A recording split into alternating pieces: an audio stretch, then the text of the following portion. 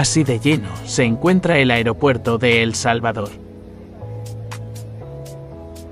Miles llegando a conocer y visitar nuestro país. Turistas de todo el mundo llegando.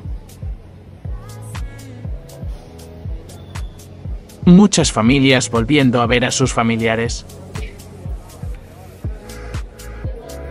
Todos llegando contentos de estar de nuevo en el país. Familias completas llegando y esperando.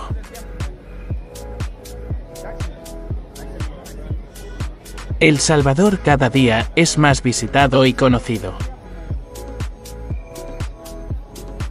Ahora todos se sienten seguros aquí. El Salvador está cambiando cada vez más.